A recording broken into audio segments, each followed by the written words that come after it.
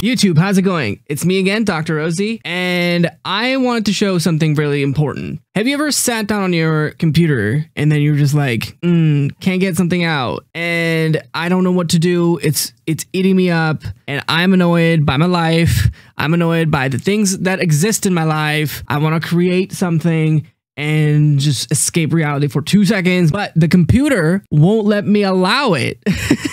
So this is something that I kind of learned over the years, and I wanted to share this with Stream and YouTube. This is something I call loop theory. This is a cool little experiment and exercise, really, for you to get out of the the creative rut and actually feel something and enjoy making music. So in this video, you will see how that can help you out. Uh, if you like the video, please like the video. And if you haven't subscribed yet, please subscribe and press the notification bell because this is valuable info that I'm trying to showcase and hopefully people actually enjoy stuff like this. And when you do subscribe and press the notification bell, it further tells me that you want me to constantly post. So tell your dad. Okay, anyways, I'll see you guys in the next video. Goodbye for now. So, there's been times where people have been very stuck with a specific idea. So they will have, let's just say, okay, we have a, a four chord pattern. So let's just pick a scale of E minor. And we have a four chord pattern. We go the fundamental. Now to spice it up, I would do, I would use the seventh of it. One, two, three, four, five, six, seven. And then I'll go copy and paste, uh, put it to E, and then bring one down, bring one down, Okay, so we have this going on.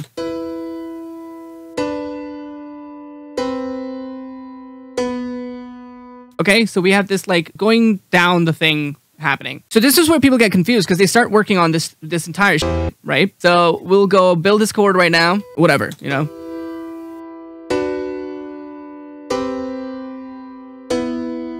Okay, so I, I'm, I'm just kind of like eyeballing it. Get your chords right first. Okay, we're sticking that. Now people are going to be like, oh no, now I want a bass note. And then people get stuck right here because they're just like, I, I don't like this. I don't like this one bit. So we have only four bars and people get stuck here and they're just like, all right, it. let me just loop it. And then they get full eight bars.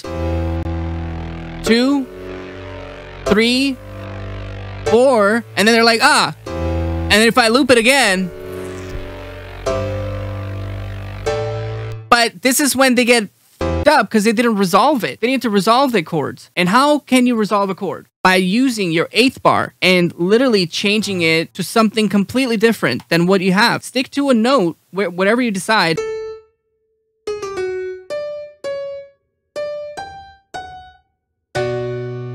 There we go. And now we have a B in there. So let's let me change this.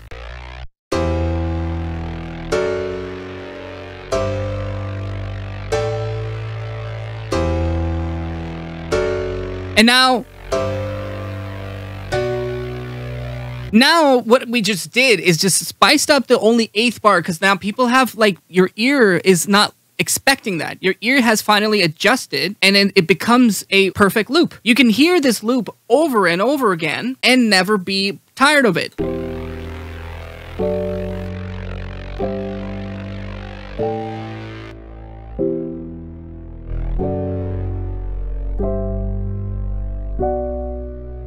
So now this is what we have done. This is when we kind of get spicy with it. So I would suggest instead of using main like just like on each one.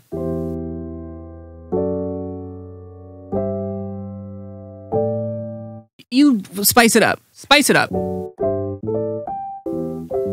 There we go. Now we have a full 8 bar with spice.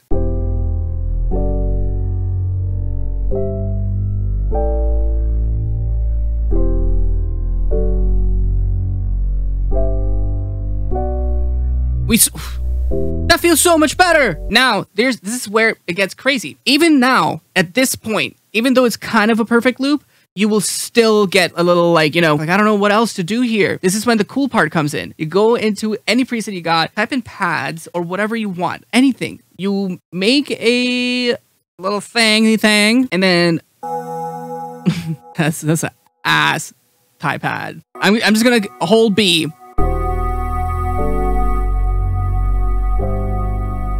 Just one constant, okay? In your head, you know, you're like, that's annoying. Like, I, I don't know why does this sound so bad? I need more notes. So we're gonna make a loop out of this, and then we're gonna do four bars, but we're gonna change it on the fourth. Look at it again. We have one, two, three, four, five, seven, eight. We're gonna shift it to fourth, and then just do and loop that. Okay?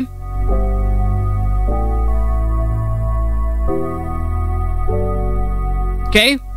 But it doesn't feel right because the eighth bar. So we're gonna go back to the eighth, full eight bars, and change this, the eighth one,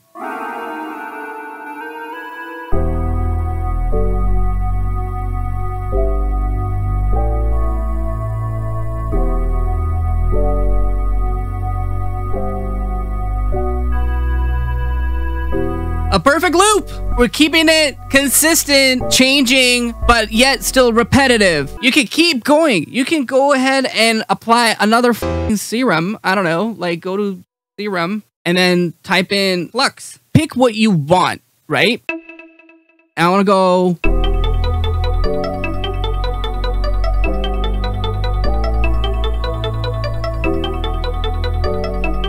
What do I need to change? Eighth. Let's go, chat. We're learning. All we could probably do is just invert. we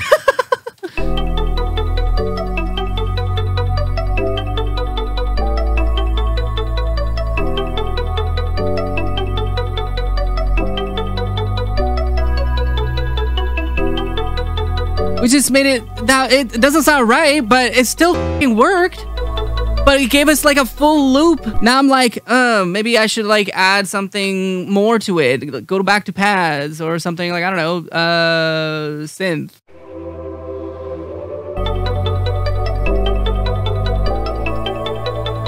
We're just like adding. You know what? Now I want more. I want more stuff in it. I, I don't know what I want, but I want more stuff. What do we got? Yes, I want it. Cool.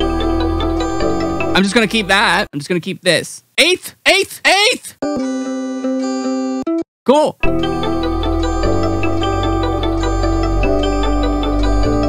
Okay.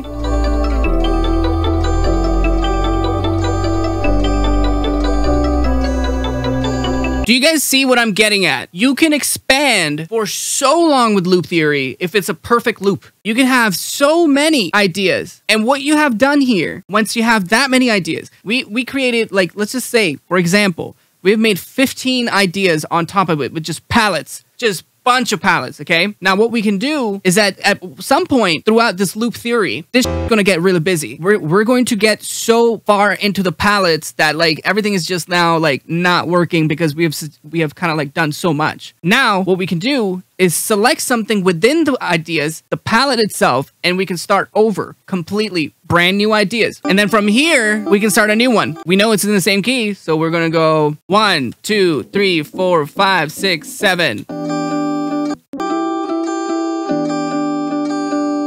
And now we do this, we do a full new process. And then from there, we keep making more and more and more and more and more. We have more 15 of these, just like new ideas. Okay. Now we have created this, and let's just say we did this theory. Okay. So my limit for loop theory, okay, my limit for loop theory is three times. You do three separate variations with the changes on the eighth every time. This is primarily to transition from one to another. This is my intro. This is my bridge. This is my outro. And then what I would do, since I have collected this such a big palette of sounds, I would just find ways to put them together. I'll just find ways to how to really incorporate them into my track. So I would be like, all right, let me just create a full silence here and then another silence here. This section, this empty section will be my drop. And then I'll create another silence here and another silence. And now this will be my second drop. And guess what? By that time, I have a full song. Okay, so these are the points of a loop theory. Okay, so if you want to get it and uh, you want to practice loop theory, this is how you do it. You start off with the key signature you want to go for.